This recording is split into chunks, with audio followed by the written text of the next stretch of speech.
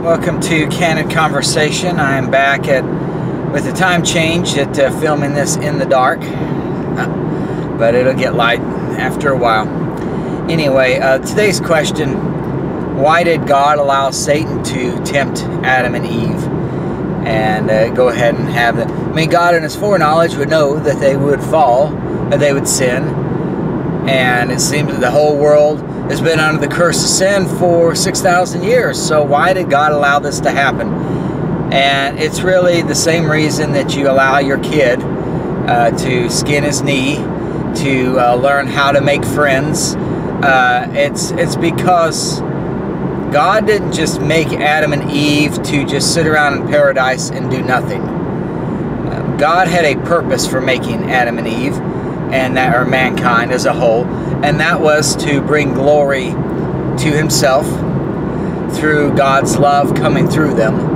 Um, ultimately, when God made mankind, He gave man dominion over His creation. Genesis 1 26, 27 tells us. And the reason He did that is because He had in His mind, basically, the reason He made man is so that uh, Jesus Christ, as the perfect man, would rule over everything. He is called in Colossians 1 the firstborn of every creature. That uh, God the Son existed in eternity past, but that God decided He would make man and uh, have man rule over the entire world, with that man being Christ Jesus. But and the, the way the reason that God made all those things is so that he could share his love through this new creature called man and in in Christ. And so uh, his the idea again is not just to sit around and do nothing but it's uh, to share God's love. You know, if, if all I do is sit at home and do nothing well I'm not leading anybody to Christ. I'm not lead anybody to come into the knowledge of the truth. I'm not doing that myself. Uh, I'm not uh, bringing glory to God because all I'm doing is just doing nothing and doing whatever I want to do and not bringing any value to society as a whole. The value comes when I'm go to my job and work and uh, contribute to society. And that's what God wanted man to do for all eternity. But the currency of heaven and God's kingdom isn't dollar bills it's not, you know, get the gross domestic product to a certain level. It is to bring glory to God. And the way glory uh, comes to God is through His love coming through us. And so, in love, 1 Corinthians 13 says that, uh, you know, verses 4 through 8 talks about all the characteristics of love there. It's patient, it's kind, doesn't envy, doesn't boast. It's not proud, it's not rude, it's not self seeking. it's not easily angered. It bears all things, believes all things, hopes all things, endures all things. All these characteristics of love then shows that God couldn't force that upon man. You know, God could have made man to where uh, he was like a robot. He would never sin. Uh, he would never. He would just do whatever God wants him to do. And if God didn't give us the free will, then God's love wouldn't come through us. I think of, uh, you know, uh, my dishwasher, for example. My dishwasher um, washes the dishes. So it does a good job, usually. uh, to the extent that that dishwasher has been programmed correctly by man, it does a good job. But there's no love coming through the dishwasher. It's just, it does a task. That's all it does. If God made us as a robot with no free will, then we would just do a task. That's all we would do. Uh, there would be no love coming through us to others. So God made us to, and what we do in life a lot of times is a copy of what we do in heaven. Like I said, God doesn't just expect us to sit around and do nothing. When you're a kid, you're learning a bunch of stuff when you're an adult, you're out there doing those things, and then you get to retire, and it, and it maybe you get to the point when you retire when you don't do much, Well, the main reason for that is because you're just not physically capable of doing a lot like you could when you were younger. And all of that has to do with the curse of sin. So, um, you know, you may think, well, heaven isn't going to be that great if I do all these things on the earth. See, what we do is we think of the earth, and what we do is because we're under the curse of sin, we don't like it. You know, even if you like your job, you probably don't like the people you work with, or if you like them, you don't you don't like circumstances that come out. You don't like the customers, or you know, there's something. Whenever you come to people interacting with each other under the curse of sin, there's always problems, and and so there are things that we just don't like about life because we're under that curse of sin, and so then the result is that. Um, we think, oh, I can't wait till I retire and then I do nothing.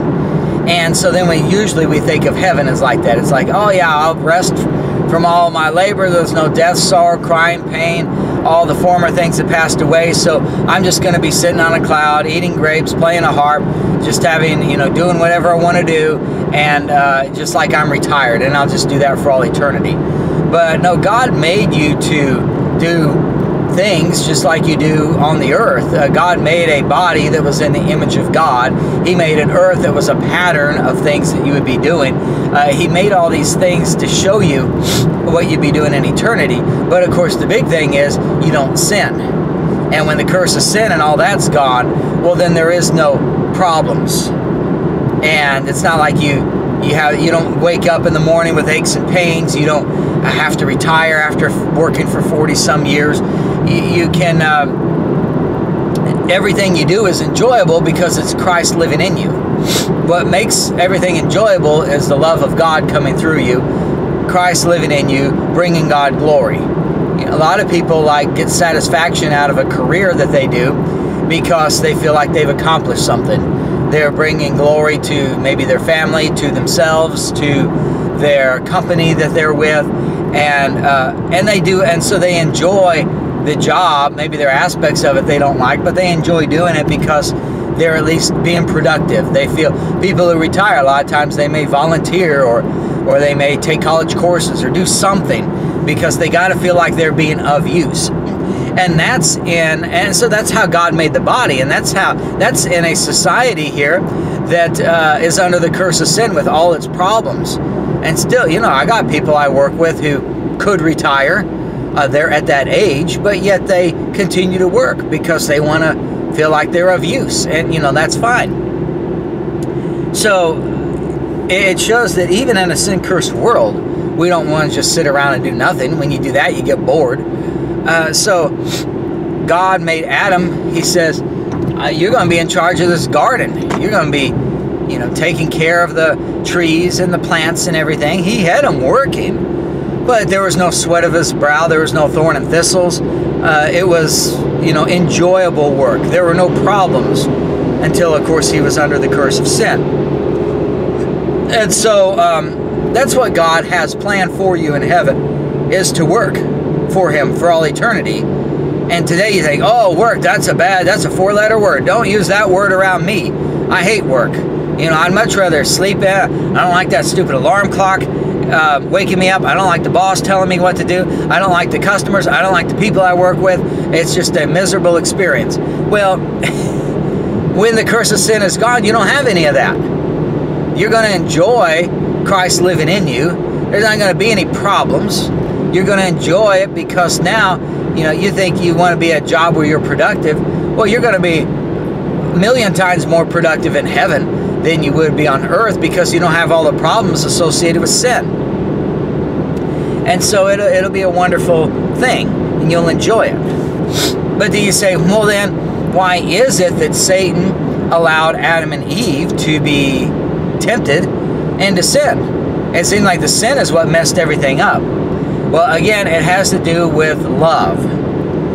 Because uh, God commendeth his love toward us and that while we were yet sinners, Christ died for us. Uh, Jesus said in a parable, he says, here's this woman who, uh, well, wasn't a parable, it was a real story, where this woman takes the perfume box, anoints the feet of uh, Jesus, washes it with her hair, she loves him so much because he forgave her so much. She was a prostitute. She was uh, in heinous sin and was headed for hell.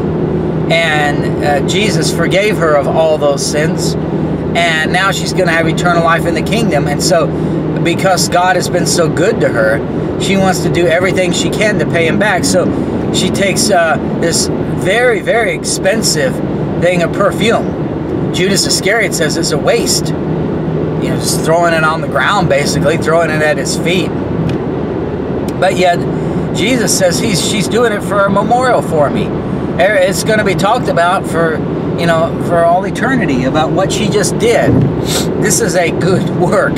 It's a good spiritual work because she's bringing honor and glory to the Lord Jesus Christ. And and so it didn't matter that it was cost so much money that it you know take her a long time to work and pay for the pay for something like that again because what's important is she is bringing glory to the Lord Jesus Christ thanking him for his love that he shed upon her. And in eternity we'll get to do that all the time. There won't be any limited resources. We won't say oh I wish I could share God's love but I'm busy doing this or that. I got to take care of my family. I got to do that it's everything you do. You're going to be sharing God's love. And you're not going to have a government taking taxes from you and taking your money so you can't do what you want to do with it. You're going to be having no sin, uh, unlimited resources, and uh, Christ living in you. So no ulterior motives, and simply bringing glory to the Father. Jesus says to the Father in John 12, glorify thy name with a and glorify me with the glory which I had before thee before with thee before the world. God says, I God the Father says, I have glorified thy name, my name, and I will glorify it again. And that's how it is in eternity. God has glorified his name through God's Christ's love coming through you to others in heaven for all eternity, and he will keep glorifying it. In the ages to come, he might show the exceeding riches of his grace and his kindness toward us through Christ Jesus, Ephesians chapter 2 says. And so every age is going to be a new level, a greater glory that God gets, and we get to participate in that and sharing his love. But if God did not allow Satan to tempt Adam and Eve, none of that would ever take place. Jesus says, Greater love hath no man than this, than a man lay down his life for his friends. But Jesus Christ died for us when we were enemies. So if the best love I can have is dying for a friend, and Jesus Christ died for enemies, well, it shows how great God's love really is. And what a wonderful thing that we get to be a small part of that for all eternity. But if God didn't allow Satan to tempt Adam and Eve, they would never they would not know God's love. They'd be in a state of innocence. They wouldn't be under the curse of sin. But they had to they have to make the free will choice to accept God's love. Because of love is patient, love is kind, does not envy, does not boast, is not proud, is not rude, not self-seeking, not easily angered, keeps no record of wrongs, doesn't delight in evil, rejoices in the truth, always, you know, all those things, bears all things, believes all things, hopes all things, endures all things. Those things are of, of God,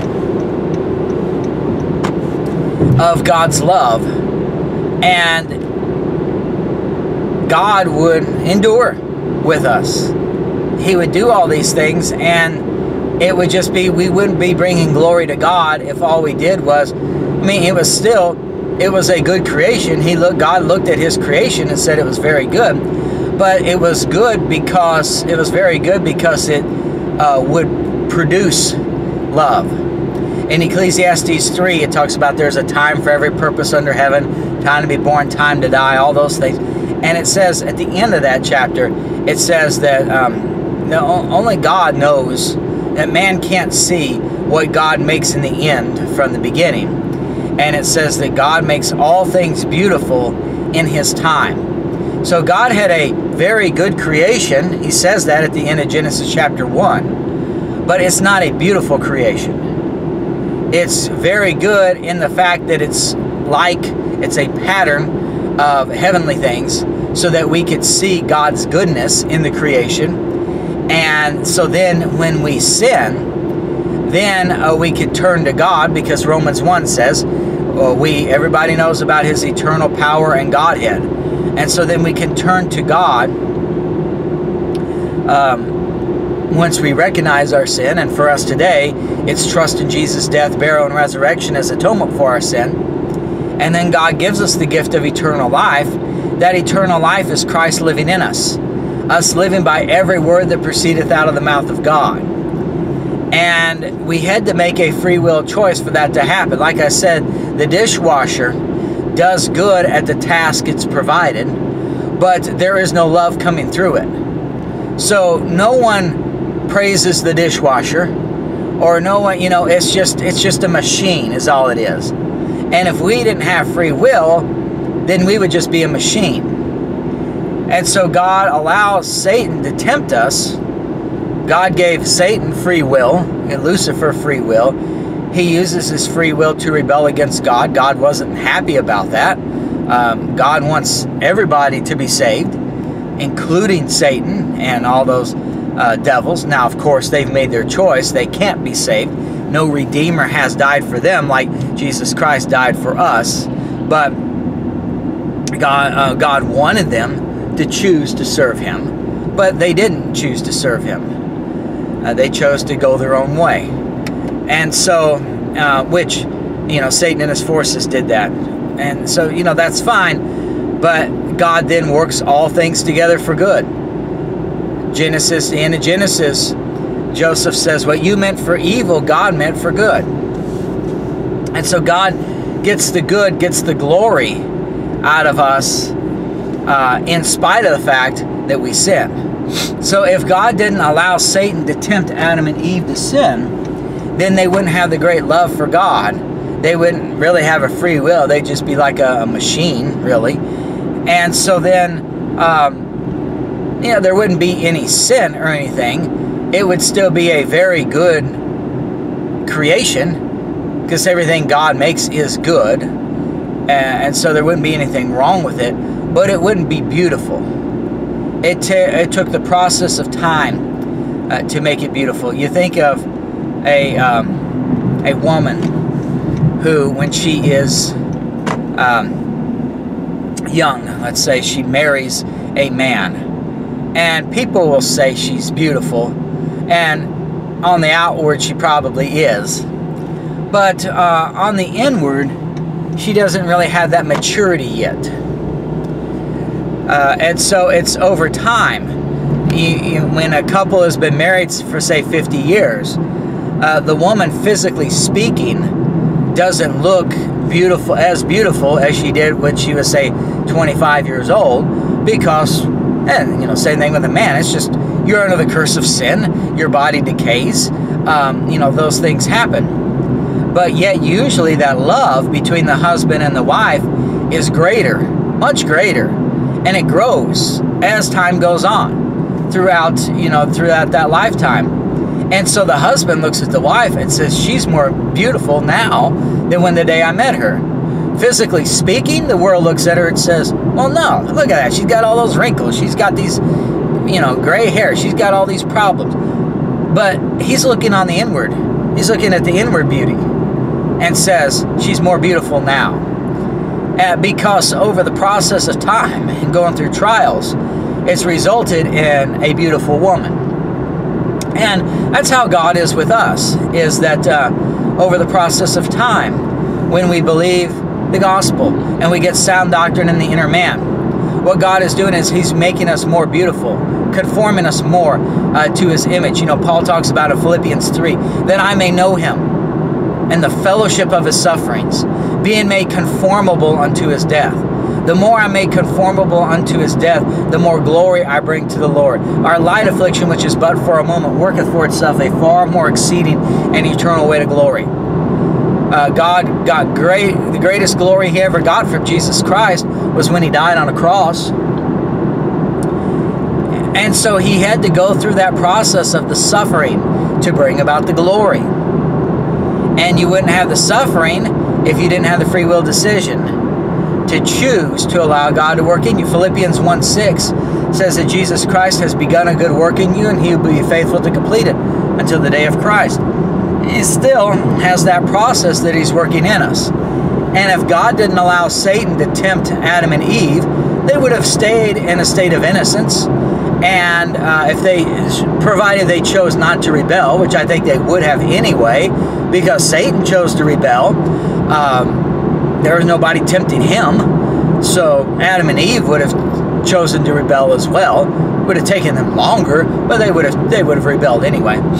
And um, and so God allowed that though, because if He just made them as robots and they're just in His creation, well, they're in a state of innocence, and He's got a very good creation, but it's not beautiful. It's going to take the process of time of going through trials and tribulations. Uh, that's what you know makes a marriage work. The problem today is that people uh, aren't patient enough. They don't stay together for all those years. If you just get married and you just have that euphoria of having a, a new bride or a new husband, and then you don't go through it, and when problems come, you decide you're not going to work them out, you're not going to overcome them, um, you're probably going to get a divorce within three years, and it won't be, um, you know, you won't get to see what God can do be, with the love between a man and a woman as they go through these problems and situations. Well, God is going to do that so much greater in heavenly places because you don't have the curse of sin. You, you know, today, couples make it for 50, 60 years in spite of the fact of all the issues they've had. And, um, and yet, you know, they, uh, that, that's under the curse of sin. So just think when the curse of sin is lifted uh, how much better it will be. And God working His love through us and bringing glory to us. You, you think your wife is more beautiful after 50 years of marriage than when you, uh, when you married her, even though, physically speaking, she's had things happen because of the curse of sin. Just think in heavenly places when you don't have the curse of sin, and we're not talking about 50 years that God is going to be with us, but all eternity. And how for us, God will just make us more and more beautiful to Him. We'll bring more and more glory to Him. We'll have more and more of God's love coming through us. And ages to come, He might show forth His grace and His kindness toward us through Christ Jesus. And it's just going to be greater and greater as time goes on. No, you know, world without end, nothing stopping it. And, um, and that process never would have happened if we're just robots. Because if we're just robots, we don't have a free will, then we don't have love. The dishwasher does the task, but there's no love there. There's no growth between me and the dishwasher. Um, it's just does the task. And in fact, eventually it will stop doing the task and I got to get a new one. But when you've got love there, love grows. Love is a wonderful thing. It gets better over time. And you wouldn't have God had to commend his love toward us, and then while we were yet sinners, Christ died for us.